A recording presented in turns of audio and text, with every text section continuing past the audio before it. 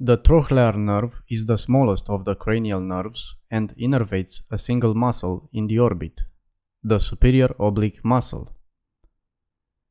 The axons of the trochlear nerve originate in the trochlear nucleus, located in the tegmentum of the midbrain at the level of the inferior colliculus, and ventrolateral to the periaqueductal gray matter.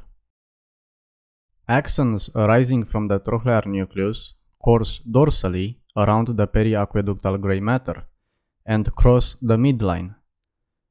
The crossed axons emerge from the dorsal aspect of the midbrain, just caudal to the inferior colliculus, to form cranial nerve 4 or the trochlear nerve.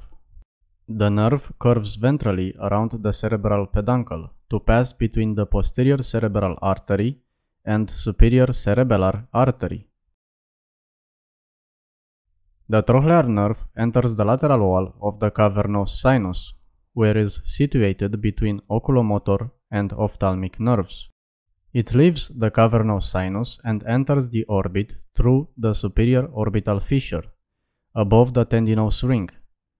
The nerve then courses medially close to the roof of the orbit and runs diagonally above the levator palpebrae superioris muscle to reach its target, the superior oblique muscle.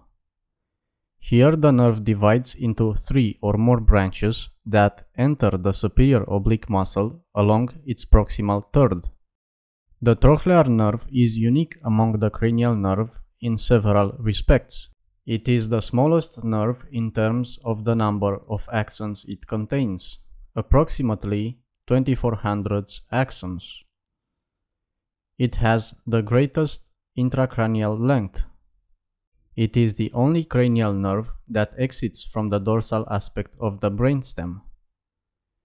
It is the only cranial nerve whose nuclear fibers decussate before emerging on the surface of the brain.